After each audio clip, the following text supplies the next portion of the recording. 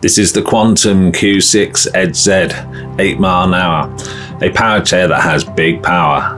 Some of its features are Active-Trac suspension, omnicasters, a semi-independent rear caster beam for extra performance over different terrains.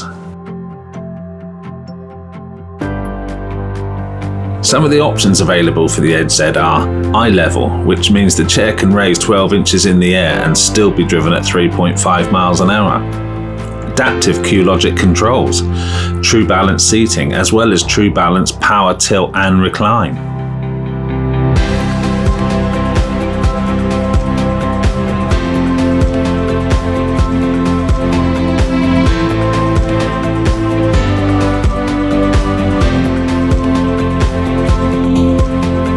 The Edge Z has plenty of power over ground like this, which is dry but very bumpy.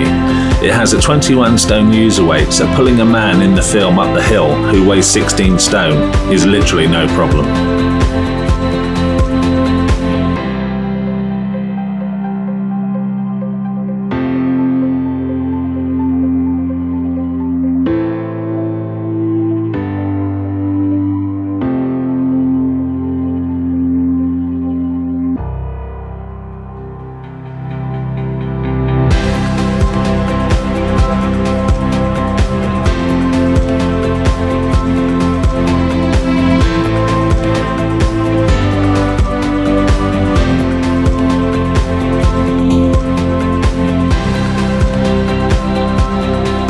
We found the Edge Z struggled a little bit more on the rumble strip, so in this case we could only give it a 5 out of 10.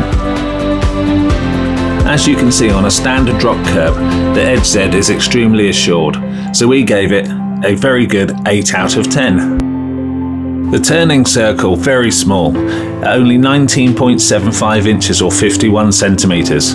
It's a straight 9 out of 10.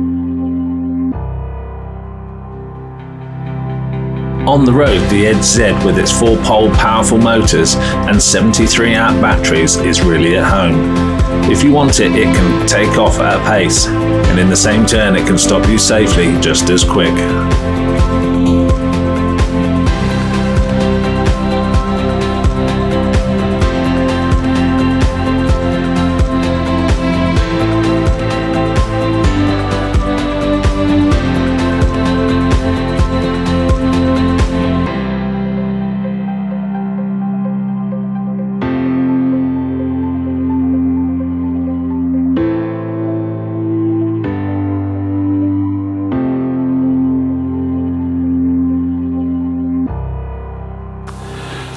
Okay, so that's the Quantum Z 8 mile an hour power chair.